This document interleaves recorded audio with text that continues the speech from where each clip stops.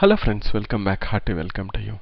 Let us look at this example question related to FTRE 2016 and concept is arithmetic progression. It's given that the sum of roots of a quadratic equation ax square plus bx plus c equal to 0 is equal to sum of the squares of their reciprocals. Then we have to pick one of the options which either 1 by a, 1 by b, 1 by c are in AP or a, b, c are in AP or a square, b square, c square are in AP or b by c, a by b and c by a are in AP. So first we will write down what's the meaning of a quadratic equation and what's the relation between the quotients and the roots. So we know that if ax square plus bx plus c equal to 0 and we say the roots are alpha comma beta then we know that alpha plus beta is equal to minus b by a. We also know that alpha beta is equal to c by a. This we have learned. Now, what is the condition given in this particular problem? The sum of the roots of the quadratic equation is equal to sum of squares of their reciprocals. That means alpha plus beta that's the sum of the roots of the quadratic equation. Sum of the roots of the quadratic equation is equal to equal to sum of the squares of the reciprocals. That means 1 by alpha square plus 1 by beta square. Now we know that alpha plus beta is equal to minus b by a. We have written it earlier. We know alpha beta equal to c by a.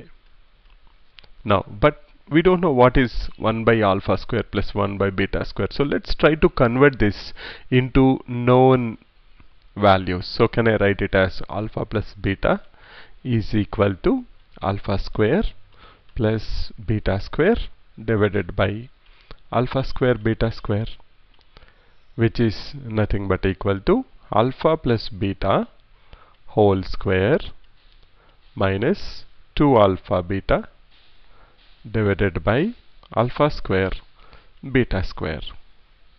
We'll go to the next step.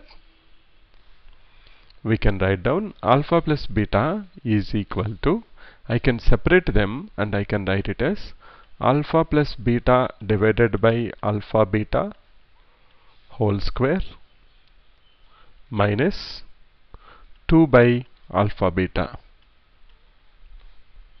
Now what's our alpha plus beta? Alpha plus beta is equal to minus b by a. And what is alpha plus beta by alpha beta? Minus b by a divided by c by a. This I have to square it now.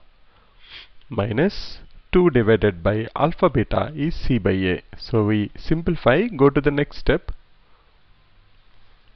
Will I have? Minus b by a is equal to a a cancels. I can cancel a a there. And I will have minus b by c. If I square it I will have b square by c square minus 2a divided by c. Now if you look at the options from this we are sure that it's not going to be the first second or third. Because we see b by a c by a a by b seems to be d. So how we can prove that? For that what we will do? We can take LCM of this multiply with AC square throughout. I will have minus BC square is equal to AB square minus 2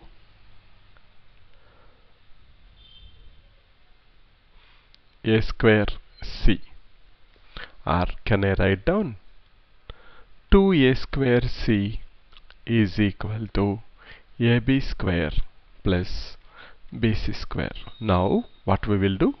We will divide the whole thing divide by ABC. We will have our last step which is equal to 2 a square c that is 2a by b is equal to ab square by abc which is nothing but b divided by c plus bc square by abc which is nothing but c divided by a. I can write down one more step if you want.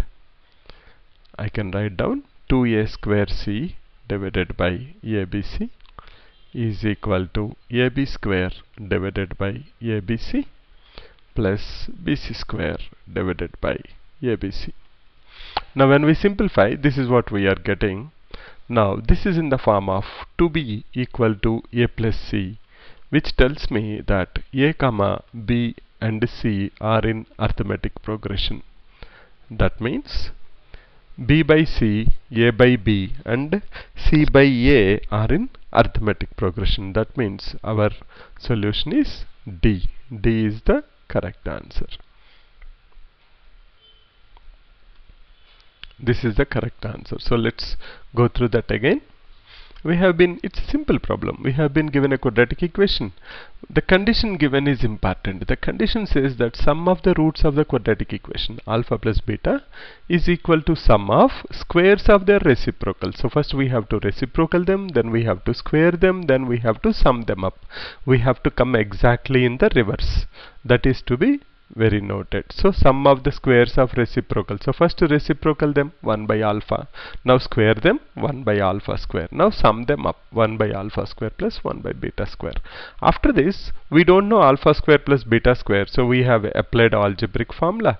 We got that converted into alpha plus beta and alpha beta everything then we substituted the values alpha plus beta equal to minus b by a and alpha beta equal to c by a so by solving we know that at the end, we get that b by c, a by b and c by a are in arithmetic progression. So that's one more interesting question which I thought I will share with you from FTRE 2016. So thanks for your time and support. Bye for now.